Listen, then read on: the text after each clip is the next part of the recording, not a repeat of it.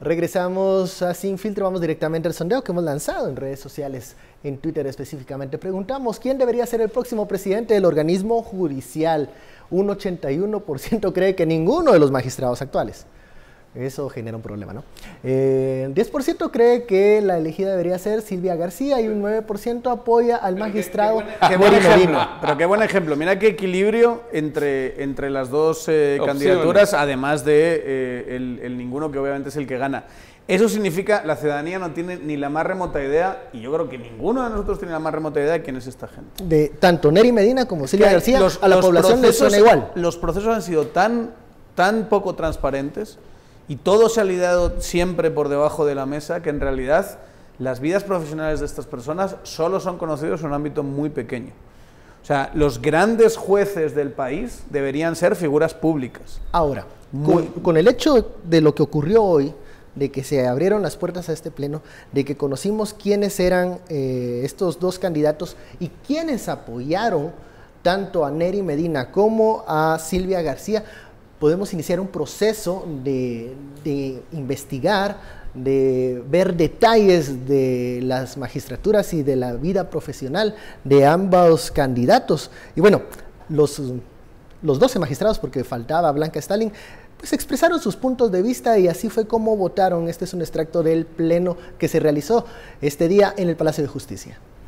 Ambos candidatos, pues a mi juicio, vieran los perfiles para dirigir al organismo judicial y la Corte Suprema de Justicia.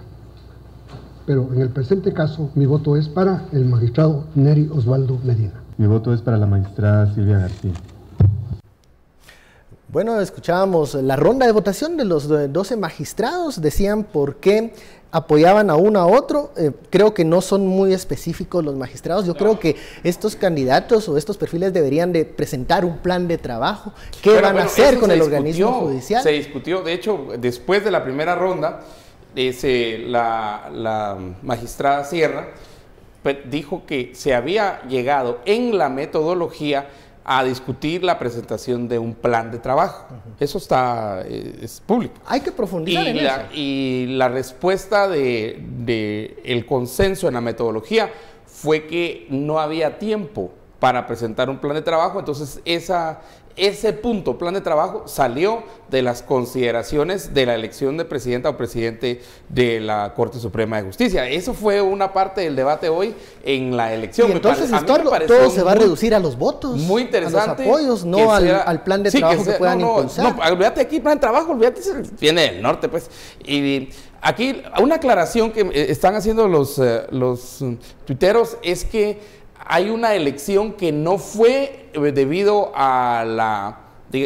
sí fue hecha por el Congreso, pero que hay una magistrada titular que no es del grupo, ¿verdad? Es una magistrada que subió a ser titular por un caso de, de magistrados también que salieron de él, que. Sí, lo, lo cual está, en este caso no se sabe si es bueno o malo, porque no, sí. no, fue electa por el Congreso, pero ya sabemos qué pasó. Bueno, en, en términos generales sí fue electa por el Congreso. Claro, pero bueno, en la lista iba mayor. dentro del digamos, grupo, no estaba en la, pero no, no para titular, pero no para, digamos, no para titularidad. E ese es el punto. Ahí o sea, hay mucha negociación en la titularidad. Eso es el punto. Entonces, los, los diputados no consideran que ella era una primera espada y yo no sé si eso es bueno o malo para, para, para su candidatura, no sé si me explico.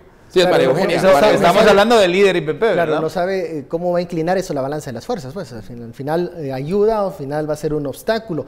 Pero, pero, pero yo creo que es importante anotarlo, que no es esa magistratura titular hoy es de, vino de otra forma. Sí, no, no, no vino de no ese vino de, pacto del original. grupo, del pacto original, aunque sí la elección del cuchumbo, pongamos. Claro, que recordemos- todo. Pero esta específicamente sale después en sustitución de un... Que recordemos, Sí, muchos, muchos nos que preguntan, ¿cómo la- es que se eligió esta corte tan rápido con tantos acuerdos eh, que se llegaron a, a realizar de forma tan eficiente por PP y Líder? Recordemos que en aquel momento, 2014, PP y Líder, incluso en el Congreso, Eran habían hecho una... Claro, enemigos acérrimos en la discusión pública, pero también existía una transición, digamos, educada, porque creían que era muy posible que Manuel Valdizón fuera el próximo presidente. Entonces el mismo Partido Patriota en el Congreso, no en el debate público, pero sí en el día a día, facilitaba algunos acuerdos, buscaba algunas reuniones, sobre todo porque quienes había- salían del poder verdad- querían blindarse a futuro. Esto es lo, lo que todavía no sé si, si, si hemos entendido del todo. Había un acuerdo clarísimo entre PP y líder de transición del poder. Pero Una clarísimo. cosa era pelearse el poder, otra cosa, y en donde sí existía un pacto, era en la impunidad. O sea, yo entro, no te voy a perseguir, Bueno. y yo salgo con la... Con la Que ha sido un acuerdo no solo de estos. No, es- Todos los gobiernos, así los han gobiernos tenido se han ese blindado. acuerdo. Yo sinceramente sí creo que en el caso del líder y PP llegó a un grado de fusión casi perfecto. ¿eh? O sea, si hubo, sí hubo una, una- vuelta de tuerca más Sí. en, en un pacto que era, era tan fuerte que cuando pasa lo que pasa en 2015, quien se ve afectado en las encuestas no solo es PP, sino también líder. Claro. O sea, el segundo, en las, el, el que va primero en las encuestas, que es el partido oposición, se ve arrastrado por un caso que afecta al partido partido de gobierno, lo cual es delirante, pero no, Esta no si en, entiendes ot- en este otro gran país pacto. hubiera Sí, incluso impulsado la candidatura del Hombre, opositor. si yo estoy, yo estoy compitiendo con un partido, perdón, Estuardo, yo estoy compitiendo con un partido y al, al partido con el que yo estoy compitiendo le sacan un caso horroroso que le hace, le hace caer hasta el último en la tabla, y bueno, yo debería estar aplaudiendo y, y, y Casi posicionándome poniéndote la banda. No, pues al revés. Pero- no te toca y... Sí. eh, pero es que ese es uno de los puntos de por qué esta corte es tan problemática. Y, y ha representado muchos, y creo que vienen más todavía, problemas para la corte. Me, me refiero a magistraturas individuales. Y es porque en esa decisión de la toronja, toronja le decíamos de apodo a la unión eh, naranja por fuera, roja por dentro, que era líder PP, Líder PP. eh, era porque líder se daba por ganador. Claro. Y entonces tenía que negociar con el partido del poder, verá que todavía tenía eh, diputados, el PP, su corte. Esta realmente es una corte hecha para un partido que ya se sentía ganador, para el partido líder. Oh, sorpresa, no ganó. Bueno, no llegó pero ni, a la, ni a la- ni a la segunda, segunda vuelta. vuelta. El- en la primera se quedó. Pero esta corte fue precisamente Sí, ¿no? resultado de esa pero no, no- decisión. pero no nos engañemos, o sea, todos creíamos que iban a, iba a ganar. O sea, en, en- en- si Pero no ganó, pues, o sea- si nos hubiesen eh, preguntado Eh, a cualquiera, digo yo, en marzo, hubiésemos dicho el próximo Sí, presidente va a pues ser sí, Valdizón. pero entonces 2015, empezaron a preparar la, digamos, todas las redes de seguridad, el network, las estructuras, y esta corte es parte de esa estructura que te estaba preparada para cuando líder llegara Por al eso poder. se elige tan rápido en esas sesiones. Sí, al total. final de El Eso- ese punto eso es, va, ya tenemos esta corte. Tampoco es plan de llegar con la bomba nuclear y No. sacarlos a todos. No, eso no va a pasar. Bueno, como ya tenemos esta corte y esta corte ya poco a poco va aprendiendo que las reglas del juego no son las de ese gran pacto que se da entre líder y PP, o sea, para lo que ellos estaban conformados, eso ya se acabó, ya el jefe ya no existe, ya el- el- el- la gran alianza no existe, que se empiecen a adaptar. Y en ese proceso de adaptación, o que sigan adaptándose, que, que ya, que ya empezaron en ese proceso de adaptación, vénganse y siéntense aquí, por ejemplo. Pero la primera que se Habla- la- que, que que vengan, que a, a hablar acá. Por que ejemplo, vengan a exponer sus cuéntenos planes. qué piensan de Blanca Stalin.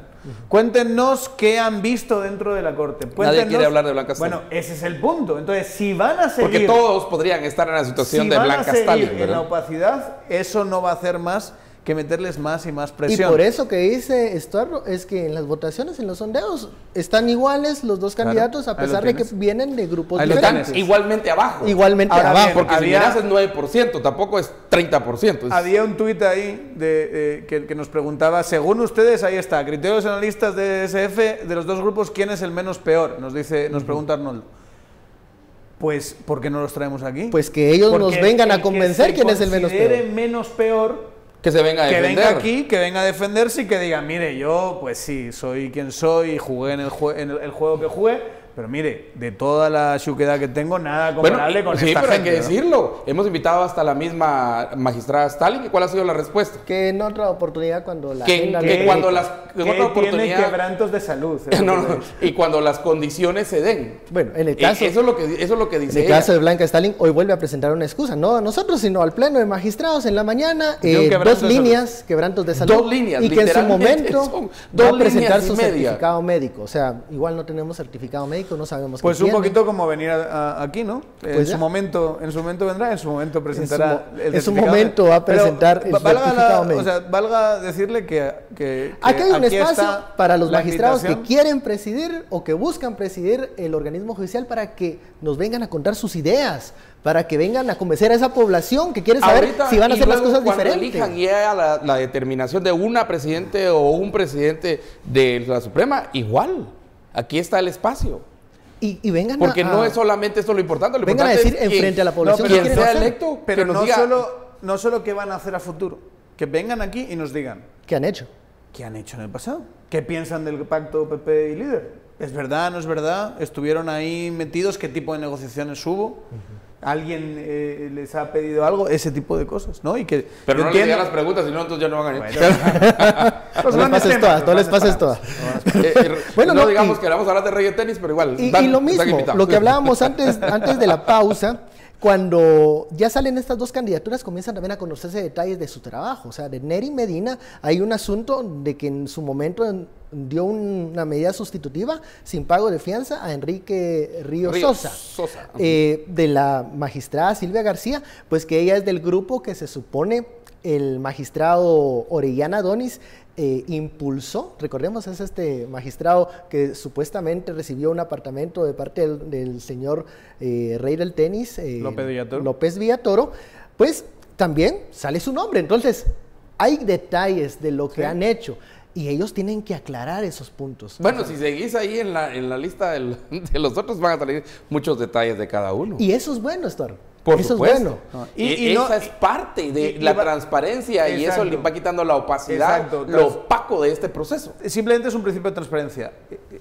Un legalista, así estos que... Es que la ley dice... Va, la ley no dice que tengan que venir a medios de comunicación, la ley no dice que tengan que eh, decirle a la ciudadanía sus planes, la ley, no, la ley no dice nada de eso. Nada de eso. Ahora bien, el principio de este nuevo sistema, te quieres subir a la ola, súbete, ¿cómo se llama? Transparencia. Uno de ellos. Entonces, ha- hagan el intento, si es que tampoco es tan, tan difícil. Y si te ves impedido, si ves que te van a eh, agarrar por todas partes, que no vas a poder contestar, pues eso no habla muy bien de ti. No, habla que esté preparado para los Exacto. nuevos tiempos. Bueno, vamos a una pausa. La etiqueta SF Corte en Pugna. Regresamos con detalles también que está sucediendo en el Colegio de Abogados en esta importante elección de ese gremio de profesionales. Ya terminó Volvemos luego la Ya- pausa. ya terminó. En eso Ya está. terminó el conteo.